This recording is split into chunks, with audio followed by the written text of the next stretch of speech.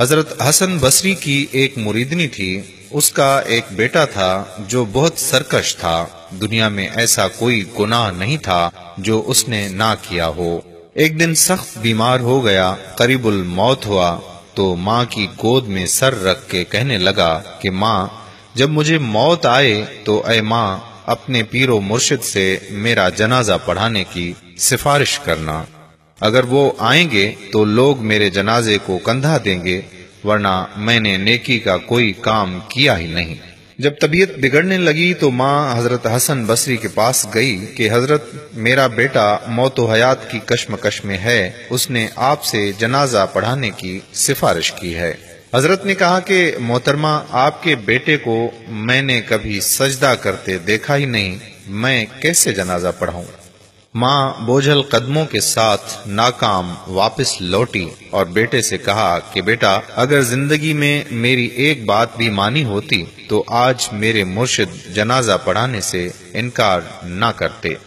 بیٹا حسرت بھری آنکھوں سے ماں کی بے چینی کو دیکھتا رہا، رونے لگا، بولا، ماں، جب مجھے موت آئے تو میرے پاؤں کو رسی سے باندھ کر سارے شہر میں گھسیٹنا۔ اور یہ آواز لگانا کہ جو اللہ کی نافرمانی کرتا ہے، جو اس کا حکم نہیں مانتا، اس کا یہی حشر ہوگا۔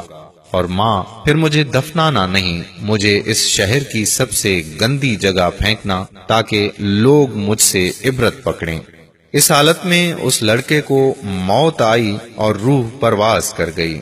وفات کے چند لمحوں کے بعد دروازے پر دستک ہوئی۔ ماں نے دروازہ کھولا تو دیکھا حضرت حسن بصری کھڑے تھے۔ کہنے لگے کہ میں جنازہ پڑھانے آیا ہوں۔ ماں بولی، حضرت، میرا بیٹا فوت ہو گیا۔ یہ صرف میں اور اللہ پاک جانتا ہے۔ آپ کو کیسے پتا؟ حضرت فرمانے لگے کہ جب آپ واپس آئیں تو میں تھوڑی دیر کے لیے سونے لگا تھا۔ میری آنکھ لگی۔ اور نیند میں آواز آئی کہ آپ نے اللہ کے ایک دوست کا جنازہ پڑھانے سے کیسے انکار کیا؟ اللہ اکبر، یہاں ندامت کے دو آنسو کیا گرے؟ وہاں مغفرت کا فیصلہ ہو گیا۔ میرا رب بخشنے والا مہربان ہے۔ اللہ پاک ہم سب پر رحم کرے اور ہمیں بخش دے۔ آمین۔ ایک آخری بات ارض کرتا چلوں کہ اگر کبھی کوئی ویڈیو، کال، واقعہ، کوئی سچی کہانی یا کوئی اچھی تحریر وغیرہ اچھی لگے تو مطالعے کے بعد مزید تھوڑی سی زحمت فرمایا کریں۔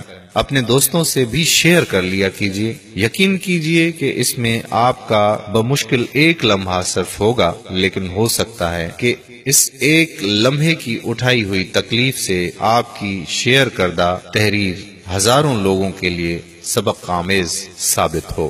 اگر آپ نے ابھی تک ہمارا پیج پیارا اسلام لائک نہیں کیا، تو ابھی لائک کریں اور فالو کر دیں تاکہ ایسی مزید دلچسپ اور معلوماتی ویڈیوز آپ تک ہم پہنچاتے رہیں۔ جزاک اللہ۔